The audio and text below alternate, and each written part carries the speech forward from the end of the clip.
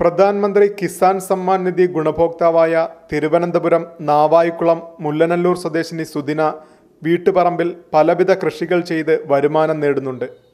മരച്ചീനി കുരുമുളക് ചെറിയ തോതിൽ പച്ചക്കറി എന്നിവയ്ക്ക് പുറമെ തേനീച്ച വളർത്തലും കോഴി വളർത്തലുമുണ്ട് സുദിനയ്ക്ക്. കൃഷിപ്പണികളിൽ അമ്മയ്ക്ക് വലങ്കയായി ശ്രീരാഗ് ഒപ്പമുണ്ട്.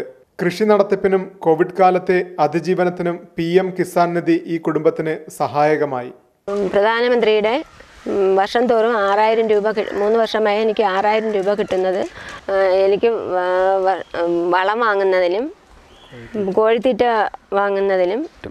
അങ്ങനെ വർഷത്തിൽ നമുക്ക് ഒരു ആറായിരം രൂപ കിട്ടുന്നത് പല അത്യാവശ്യ ഘട്ടങ്ങളിൽ നമുക്കത് ഉപയോഗിക്കാൻ സാധിച്ചിട്ടുണ്ട്.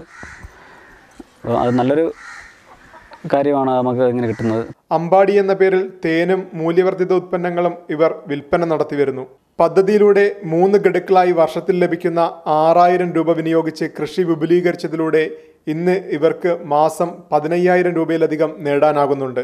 രാജ്യത്ത് പതിനൊന്ന് കോടി പതിനൊന്ന് ലക്ഷത്തിലധികം ഗുണഭോക്താക്കൾക്ക് പദ്ധതിയുടെ പ്രയോജനം ലഭിക്കുന്നു. ദൂരദർശൻ വാർത്തകൾക്ക് വേണ്ടി നീരജ്ലാൽ ആശ്രാമം.